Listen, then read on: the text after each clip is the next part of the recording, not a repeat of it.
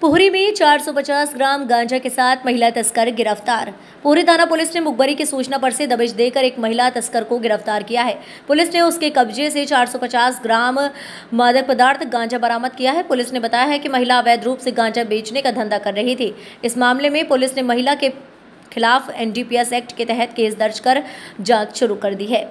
Police को महिला के पास से तलाशी में मिला मादक पदार्थ। जानकारी के अनुसार पोरी थाना प्रभारी बलविंदर ढिल्लन को मुखबरी से सूचना प्राप्त हुई कि थाना क्षेत्र के खिन्नी पुल के पास एक महिला और उसका पति अवैध गांजा बेचने का काम कर रहे हैं, जिस पर से थाना प्रभारी ने तत्काल पुलिस टीम के साथ मौके पर पहुंचकर पुलिस टीम ने जब महिला की तलाशी ली तो उसके पास से प्लास्टिक की एक थैली में 450 ग्राम मादक पदार्थ गांजा बरामद हुआ। थाना प्रभारी बलविंदर सिंह ढिल्लन ने बताया कि पुलिस ने इस मामले में महिला, फूल, कंवर, पत्नी, शिशुपाल वैस के खिलाफ एट दशमलव बीस एनडीपीएस एक्ट के तहत केस दर्ज कर जाँच शुरू कर दी है। संवाददाता धर्मेंद्र शर्मा की रिपोर्ट।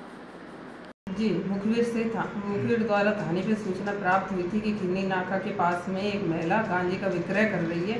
मुखबिर की सूचना से वरिष्ठ अधिकारियों को अवगत कराकर वरिष्ठ अधिकारियों के निर्देशन में मेरे द्वारा मैं बल के मौके पर पहुँचा गया, जहाँ मुखबिर द्वारा बताई गया कि एक महिला गांजे का विक्रय करती पाई गई, जिसके पास पॉलीथीन में गांजा था, जिसे चेक किया गया।